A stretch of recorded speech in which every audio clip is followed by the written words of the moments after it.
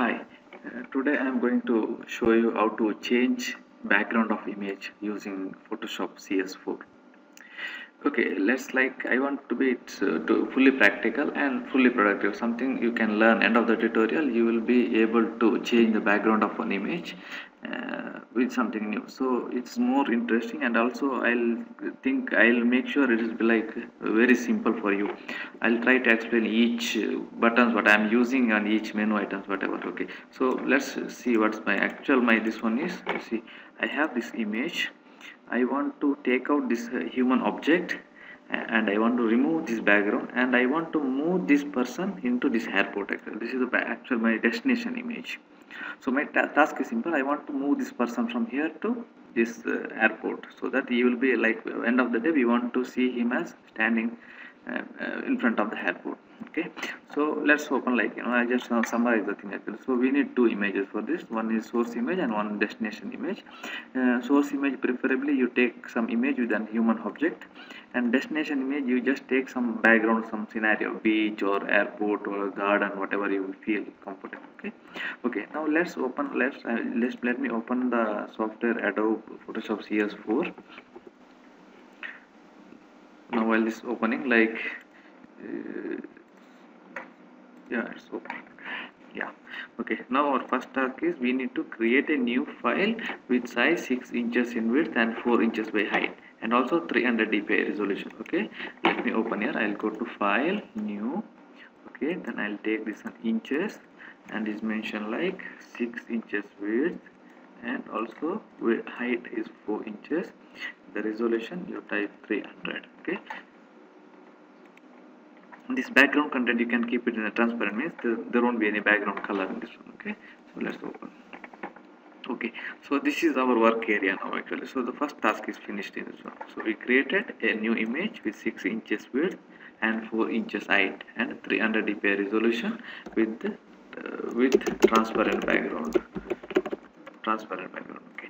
So now our task is to open the source and destination image okay? I'll go here file open my so, source uh, object image is this one. So this is the source image. I'll open this one. Okay. Then again the step 3 is open destination image. So i'll go here. I'll open the destination image. It's here actually. So so now I have one work area then on my uh, actual object and my background. So three things okay now my next step is drag both images to the workplace. Means I want to drag the source and destination image to the workplace. So this is my workplace. I want to drag this one. Okay I'll take the move tool from here. Okay I'll drag this one here. Okay and I'll close this one. I don't need any more this one. Okay so the first question. Secondly I want to take this image. This is my uh, destination image. I'll take this one and I'll drag this one also to the workplace okay? So my this is finished okay? So this is the image actually and if you go here like there's some option called windows layers. If you select that you'll be able to see this window actually. So actually here I'll name it like this is my object image okay? And also this is my destination image okay so now now for example first question. Now like you see these are like three images. You see if I hide this one you see you see this one and on top of there's this one actually. And also if you want you can move you see now you want this one to be background so you can move it up or down you see. See now this is the down and this is up actually. So this high icon means you can uh, hide or visible like this hide or visible icon okay? Okay. So now our actually so we finish the task number 4 now you hide the destination layer means I will hide this layer is not required. Now this moment okay? Then we need to extract 6 is extract the required object from the source image by cutting tool okay? So now this is the source image we don't want the whole thing actually. We want just the take out the whole just the object. So first thing we should do is you see this image is cutting is not proper actually. So what we should do is you go here edit there's an option free transform you take this one free transform okay? Then you take this uh, you use the control minus C control minus key so that it will reduce the screen. Now you hold alt and shift tab and make it reduce so that it will be proportional. Okay now we just our in, intention is to look at the object image. Okay so i'll tell you first i have taken the free transform tool. Then after that i reduce the uh, zoom in of the this one okay, screen using control minus. Then after that i used alt and shift key and drag using the corner of the image so that it is proportionally reduced to fit in the screen okay? Now I'll make it like you know I'll just make it zoom this one. Okay now my task is I want to uh, extract this object image using so like is mentioned extract the object image by cutting tool okay?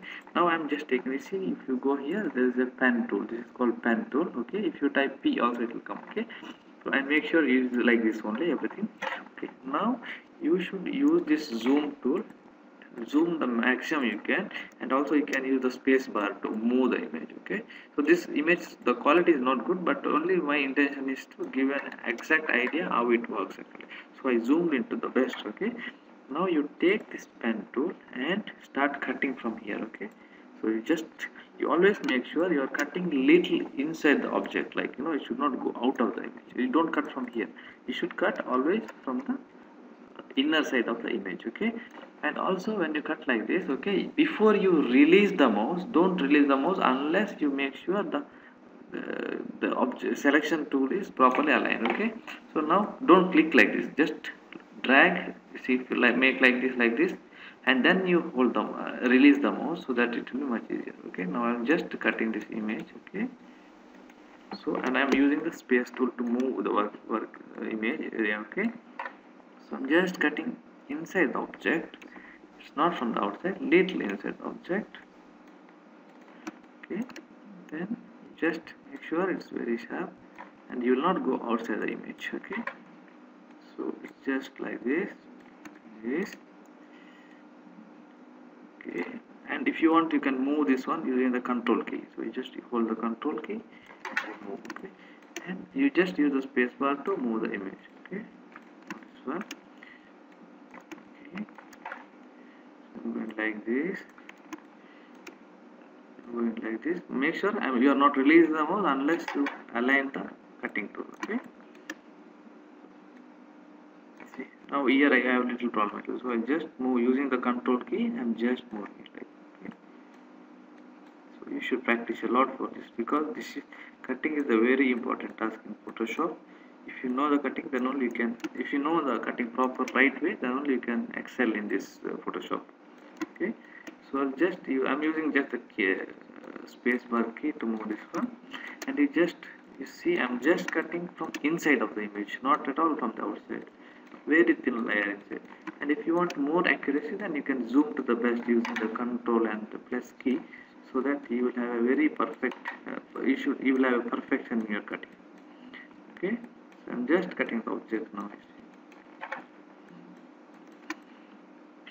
always uh, you use uh, you keep one hand in your space bar so to move the object. So that is when you move move you need to press the space bar and uh, move the object like you see now I'm moving like this okay? So my cutting is almost finished.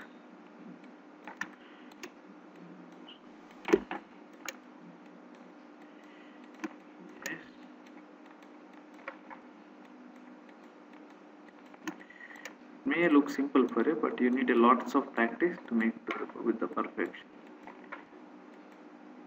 So that's cutting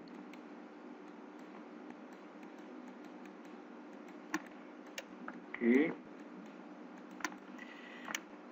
So we are almost reaching I know this image quality is not very clear but still if you understand the concept you can play with any good image and uh, it will be much much better actually. So you can see when you zoom you can see the quality is very bad actually. But still like my intention is only to make sure you will learn you will understand the concept and you can play with it actually I'm just making a little faster because I hope you will understand. Now finally I am reaching back to the point. You just need to click this dot actually so that the path is complete. If you don't complete the path then it will not work okay? Now you see you have cut this like this okay? Now now the next part is uh, click right click on your mouse and click make selection. And now here we have to give a feather. I'll explain what's feather in some other time but for this to making it simple you just apply this for this image you apply a uh, feather of uh, 2 2 is enough for you okay? Select 2 okay? Now now our task is to copy the image and paste it okay? Now you will see that the image is like this. But unfortunately uh, for some reason the background was not happened actually so I'll cut again this one you see. I'll cut from here.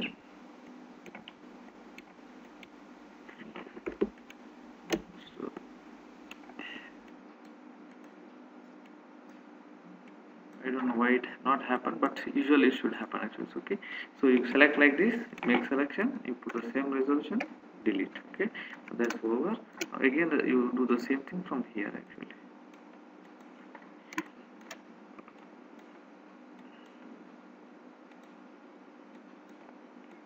so it just cut like this. Like this.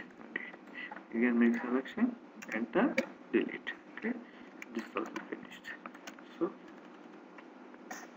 so this we have the uh, object. So from this image we have just extracted the uh, image. So another thing you should make sure like uh, make a note actually see this is the first layer. Okay? This is the second layer.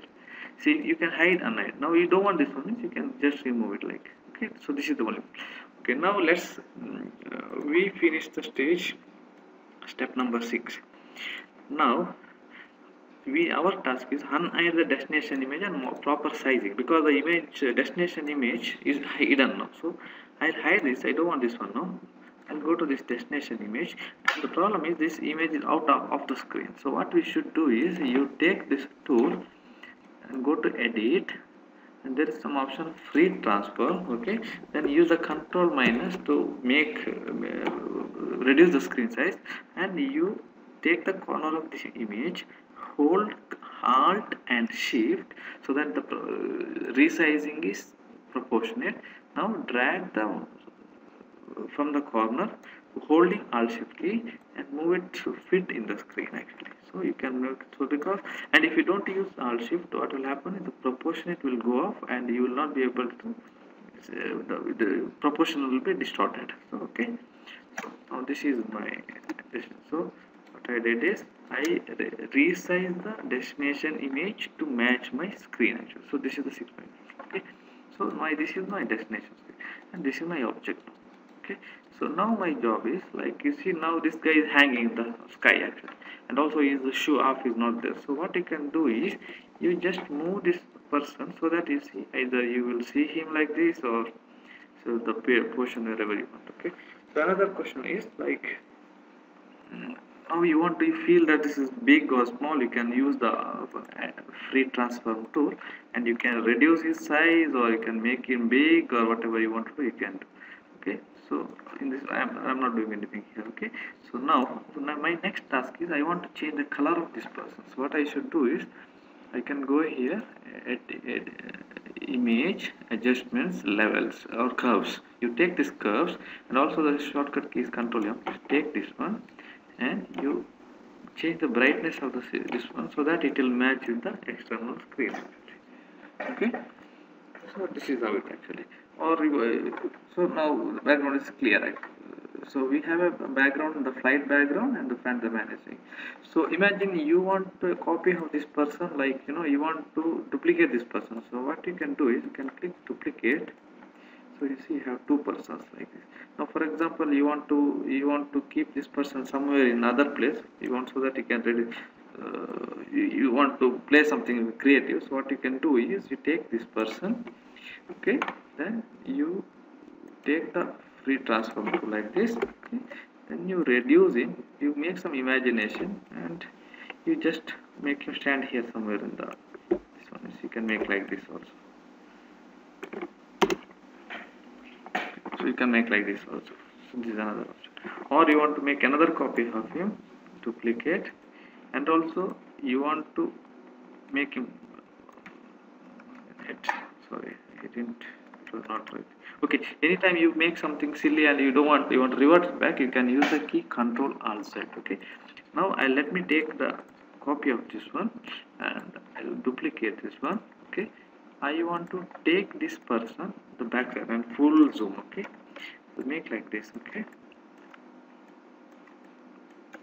Okay and I want to take this person you see like if you want to uh, minimize the brightness of the person you can use the key 0 to 1 to 9 actually. So 0 means full brightness. If I see put 9 in the keyboard it will become like this 8 like this 3 like this 7 6 5 4 3 2 1 like this. If you want you can make like this also okay? Or you want to know the, you want to change the uh, his hand side you want to flip it like there's something called horizontal flip. What you can do is go to edit free transform you right click there's something called flip horizontal. So you can make like this if you want. Or you want to flip vertical means you can make like this. Okay? And uh, again I'll make it normal. Okay now my I what I want to do is see this is all the this one actually so what I want to do is I want to give a feeling that this transparent image is backside of the flight. So for that what I can do is let me take out take cut from here I want to give an imagination that this person is behind the flight okay? Just take like this and I'll just cut the hole you make sure you are in the this image okay? Then I'm selecting this one and I'll just give make selection go this one and delete. So now you feel that that person is in the back side also so you see. And if you want to full brightness you can give 9 or you want 9 8 like the keyboard. You just go on pressing 6 5 4 3 2 like this. So it will give something like this. Okay. Now for example you want to put some uh, text on this. So you can go here in the text tool and you can click here. You can type like my first background change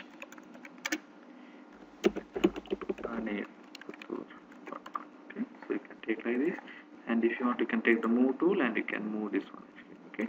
And you want to change the color of this one you can go here you select this one and you can change color from this one color okay? So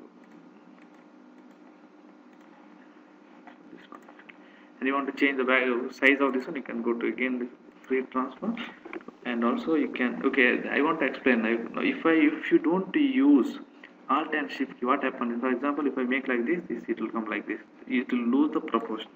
So always whenever you want to uh, change any object this resize any object always use alt and shift key then you drag like this then it will be much proportionate okay? Uh, I think now we are much clear like so we did the ma matching estimation and fine tuning also we done okay? Okay once everything is finished you can go to file menu and click save as uh, then you can give okay this is a, if you save it in the photoshop format then you can you will be able to edit in the future actually. I'll type first uh, first project something i give file name i'll save it as photoshop file. So if you save it in photoshop file it will save with all the layers and everything. In the later stage you will be able to uh, edit it okay and for example you want to send it to your friend like in a jpg format or anything and go to go you can go here go to file save as and you can select in the jpg format or whatever format you want. I'll select jpg and you can put it as a first project or whatever file name you give and press jpg save okay? So and you always you make sure you give 9 not less than that because if you give 3 or 4 the quality will be very bad. So at least you should give 9 okay? And press ok so now our image is saved in the format as jpg so it's easier actually so i'll actually see. This is our original object this is our background and this is our final result so it's very clear i think. So i hope you understand this tutorial. Is very simple. You first anything for the photoshop. You lots of practicing is required. You should practice more on the pen tool. And if you practice definitely you will excel in this one. So you take two three images try background changing and everything. And if you have any comments or feedbacks please write on my comment box. Definitely i'll get back to you hope you will enjoy this tutorial and I'm, I'm sure you will learn something from this tutorial. Have a great day. Bye bye